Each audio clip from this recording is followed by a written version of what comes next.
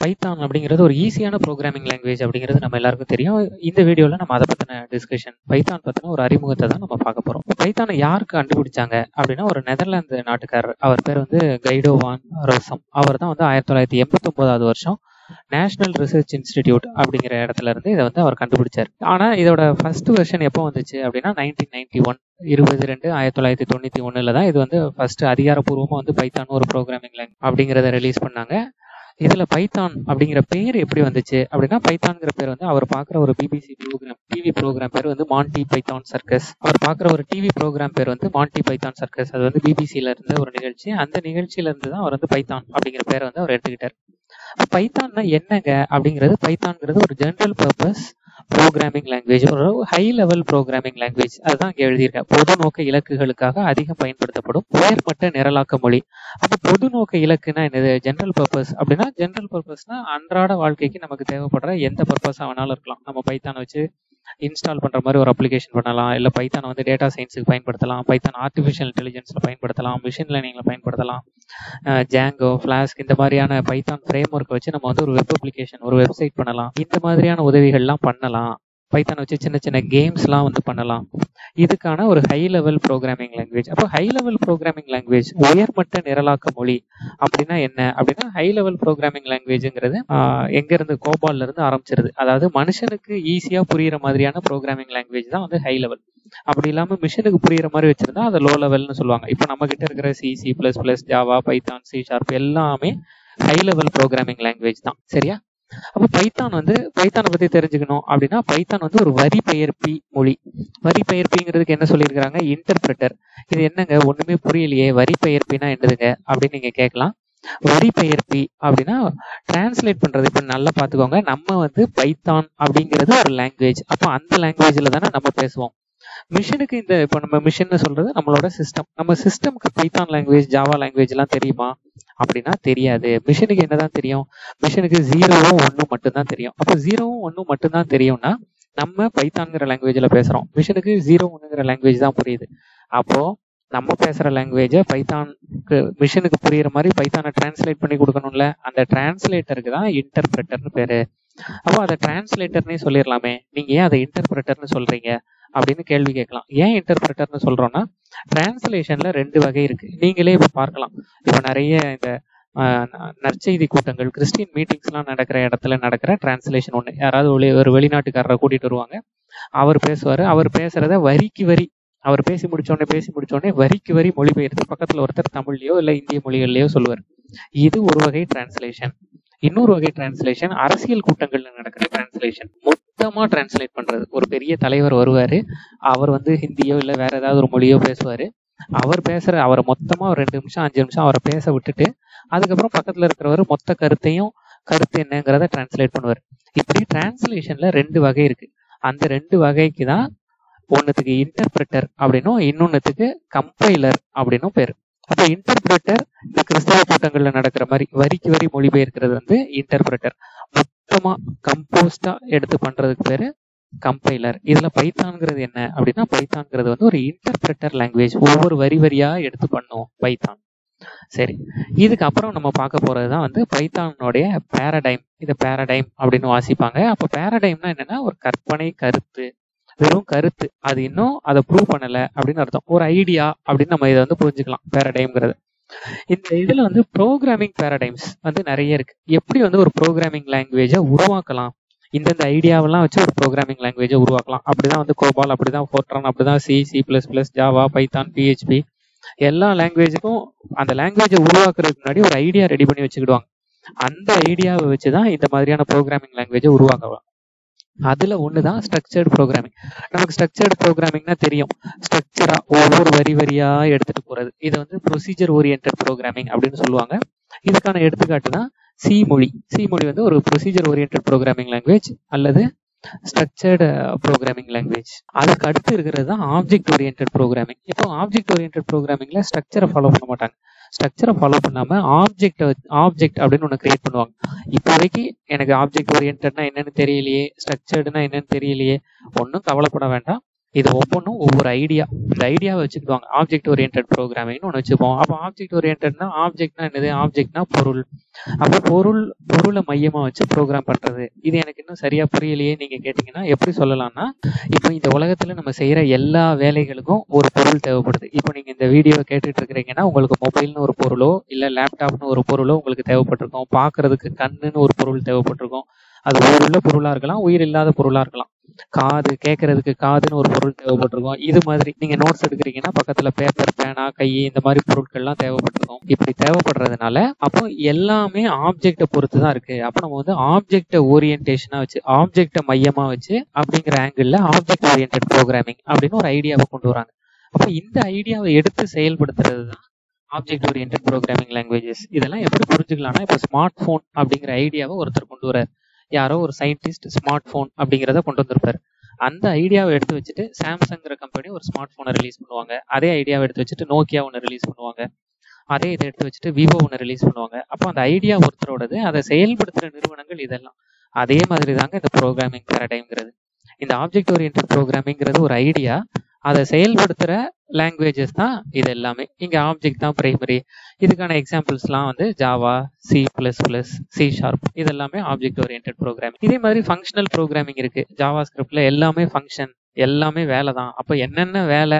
நம்ம செய்யற ஒவ்வொரு வேலையும் ஏற்கனவே கம்ப்யூட்டருக்கு ஃபீட் பண்ணிட்டோம்னா கம்ப்யூட்டர் அதுக்கேற்ற மாதிரி ரெஸ்பாண்ட் பண்ணுமே அப்படிங்கிற ஆங்கிள் ஃபங்க்ஷனல் ப்ரோக்ராமிங் ஒரு ஐடியான்னு இருக்கு. இப்போ இப்போ நம்ம பார்த்தோம்ல முன்னாடி பார்த்த எல்லாமே இருக்கு இல்லையா? இப்போ வந்து object oriented programming structured programming இங்க ஃபங்க்ஷனல் ப்ரோக்ராமிங் இது எல்லாமே இருக்குல்ல?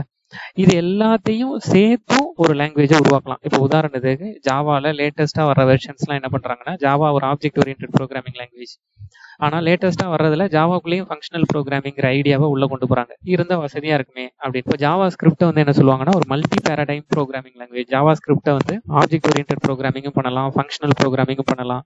இப்படிலாம் பண்றதுனால அது வந்து ஒரு மல்டி பேரடைம் நிறைய பண்ணலாம் அப்படின்னு. அப்போ பைத்தானும் இந்த ஆங்கிளில் ஒரு multi paradigm programming language Python வந்து ஃபங்க்ஷனல் ப்ரோக்ராமிங் லாங்குவேஜா அப்படின்னு கேள்வி கேட்டால் ஆமா. அந்த ஐடியாவை அவங்க சி லாங்குவேஜ்ல இருந்து எடுத்துக்கிட்டாங்க. பைத்தான் வந்து ஒரு ஆப்ஜெக்ட் ஓரியன்ட் ப்ரோக்ராமிங் லாங்குவேஜா ஆமா அந்த ஐடியாவை சி பிளஸ் பிளஸ்ல இருந்து எடுத்துக்கிட்டாங்க. பைத்தான் வந்து ஒரு ஸ்கிரிப்டிங் லாங்குவேஜா ஆமா அந்த ஐடியாவை வந்து பேர்ல் ஷெல் ஸ்கிரிப்டிங் இதுல இருந்தெல்லாம் எடுத்துக்கிட்டாங்க. பைத்தான் வந்து ஒரு மாடுலர் ப்ரோக்ராமிங் லாங்குவேஜா ஆமா அதை வந்து மாடுலா த்ரீ அப்படிங்கறதுல இருந்து எடுத்துக்கிட்டாங்க. அப்ப பைத்தான் வந்து என்ன மாதிரி லாங்குவேஜ் ஒரு high level general purpose multi paradigm programming language இதை மறந்துடாதீங்க. அப்போ பைத்தானுடைய சின்டாக்ஸ் இந்த சின்டாக்ஸ்ங்கிற வார்த்தையை வந்து ப்ரோக்ராமிங் லாங்குவேஜில் நிறைய பயன்படுத்துவாங்க. சின்டாக்ஸ்னா ஒன்றுமே கிடையாது. இலக்கணம் கிராமர் இப்போ இங்கிலீஷில் கிராமர் இருக்கு இல்லையா ஐ ஆம் கோயிங்னு எழுதுறோம். ஹீன்னு எழுதுனா ஹி ஆம் கோயிங்னு எழுதுறது இல்லை ஹி இஸ் கோயிங்னு எழுதுறோம். ஏன் ஹீக்கு பக்கத்தில் இஸ் எழுதுறோம் ஐக்கு பக்கத்தில் ஆம் எழுதுறோம்? அதுதாங்க அந்த லாங்குவேஜோட கிராமர் அப்படி ஒவ்வொரு ப்ரோக்ராமிங் லாங்குவேஜுக்கும் ஒரு கிராமர் உண்டு. அந்த கிராமருக்கு தான் சின்டாக்ஸ் அப்படின்னு டெக்னிக்கலாக பேர் உண்டு. அப்படி பைத்தானோட சின்டாக்ஸை எதுல இருந்து எடுத்துக்கிட்டாங்கன்னா சி அதே மாதிரி ஏபிசி அப்படின்னு ஒரு ப்ரோக்ராமிங் லாங்குவேஜ் இருந்தது. இது ரெண்டுல இருந்தும் பைத்தானுக்கு வந்து எடுத்துக்கிட்டாங்க. பைத்தானோட ஸ்பெஷாலிட்டிஸ் என்னென்ன? அப்படின்னா பைத்தான் வந்து ரொம்ப ஈஸியான ஒரு லாங்குவேஜ் நம்ம நம்மளோட வீடியோஸ்லயும் நீங்க அது எல்லாத்தையும் பார்க்கலாம். யார் வேணாலும் படிக்கலாங்க பைத்தானுங்கிற ப்ரோக்ராமிங் லாங்குவேஜ் அடுத்தது என்னன்னா பைத்தான் வந்து ஓப்பன் சோர்ஸ் ஒரு இருபத்தஞ்சு எம்பி தான் இருக்கும் டவுன்லோட் பண்றதுக்கு. ஃப்ரீயாவும் இருக்கும் ஓப்பன் சோர்ஸ் ஓ வந்து என்ன பண்ணாலும் ஓப்பன் சோர்ஸை நம்பி போகிறது ரொம்ப நல்ல விஷயம். பைத்தான் நம்ம எதிர்பார்க்குற மாதிரி ஒரு ஓப்பன் சோர்ஸ் இது நம்ம முன்னாடியே அடுத்த பாயிண்ட்டை டிஸ்கஸ் பண்ணிட்டோம். பைத்தான் வந்து ஒரு high level programming language Python வந்து object oriented programming procedure oriented programming எல்லாம் சப்போர்ட் பண்ணுது. சரி. அடுத்து பைத்தானோட ஃபீச்சர்ஸ் என்னென்ன? பைத்தான் வந்து பிளாட்ஃபார்ம் இண்டிபெண்ட் அப்போ பிளாட்ஃபார்ம்னா என்னது? அப்படின்னா பிளாட்ஃபார்ம்னா நடைமேடை. இப்படிதானே நம்ம ரயில்வே ஸ்டேஷன்ல சொல்றோம். அதே தான் இங்கேயும். அந்த நடைமேடை என்ன பண்ணுது?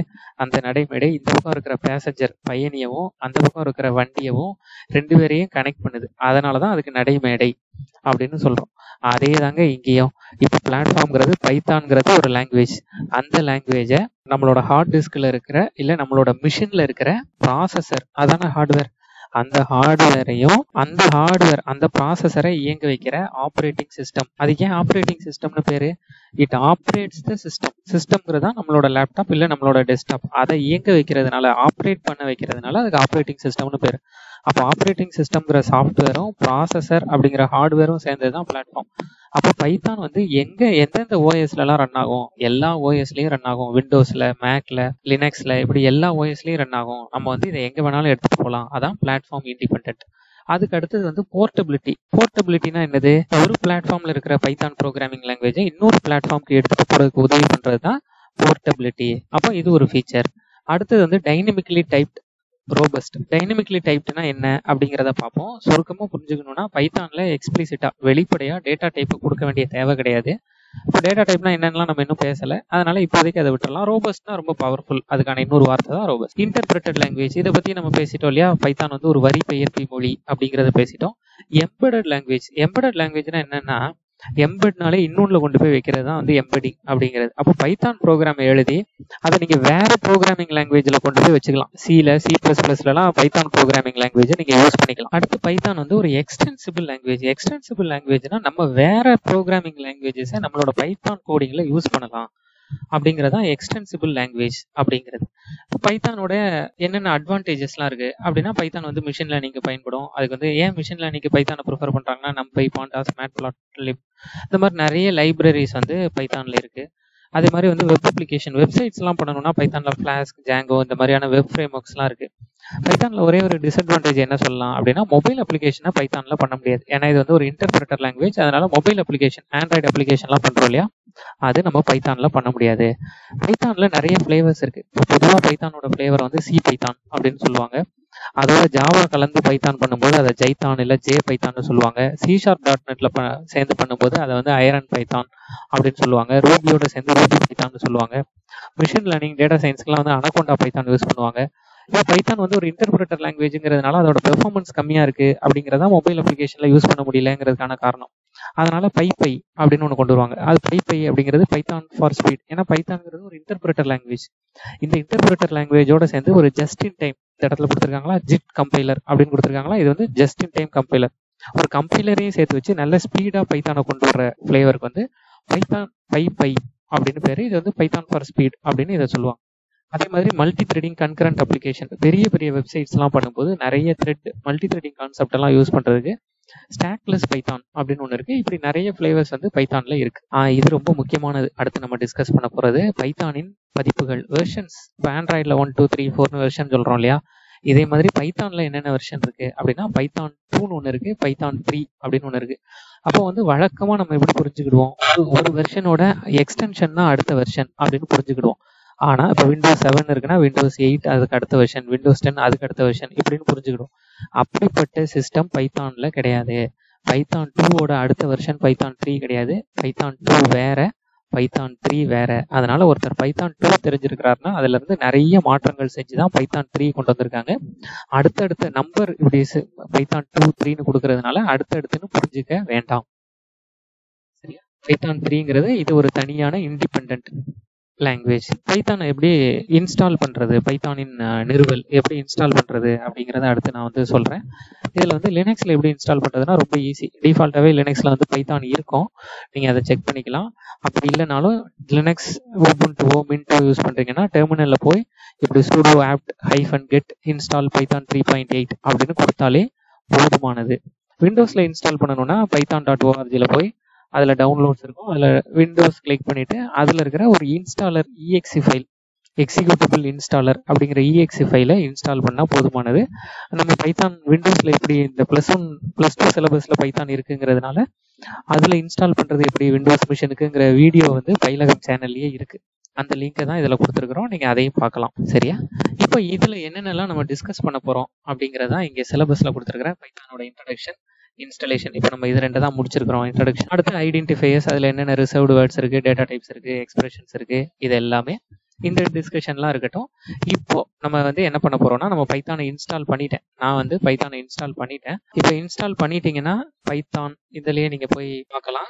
இந்த இடத்துல இன்ஸ்டால் பண்ணினது நான் வந்து விண்டோஸ் மிஷின்ல இதில் காமிக்கிறேன் பாருங்க. நீங்க பைத்தான் இன்ஸ்டால் பண்ணியிருந்தீங்கன்னா பைத்தான் அப்படின்னு தேடி பார்க்கலாம். பைத்தான்னு தேடி பார்த்தீங்கன்னா இது ஒருக்கா பைத்தான் இந்த பைத்தானில் போயிட்டு Python ideally Python three point eight இதில் நான் வந்து இப்போ பைத்தான் ஐடியலி எடுத்துக்கிட்டேன். அவ்வளோதாங்க பைத்தான் ஐடியலி எடுத்தாச்சு. இப்போ நம்மளோட ஃபர்ஸ்ட் ப்ரோக்ராமை நம்ம பண்ண போகிறோம் எப்படி பண்ணுறது ஒன்றுமே கிடையாது. பிரிண்ட் பண்ணணுமா? பிரிண்ட் வணக்கம். அவ்வளோதான் வணக்கம்னு பிரிண்ட் ஆயிடுச்சா அவ்வளோதாங்க இதை நீங்கள் ரன் பண்ணுறதுக்கு பெரிய ப்ரோக்ராமாக ரன் பண்ணும்போது இங்கே ரன்னில் போயிட்டு நமக்கு ரன் நமக்கு பைத்தான் ஐடியலிலேயே ஃபைல்லாம் ஓப்பன் பண்ணி பார்க்கலாம். அதெல்லாம் நம்ம பின்னாடி பார்ப்போம். இப்போதைக்கு நம்ம வந்து இந்த விஷயத்துல என்ன பண்ண போறோம்னா பைத்தானா ஒரு சிம்பிள் கால்குலேட்டர் இப்போ ஃபைவ் பிளஸ் சிக்ஸ்னு கொடுத்து என்டர் அடிச்சா லெவன் கொடுத்துரும்.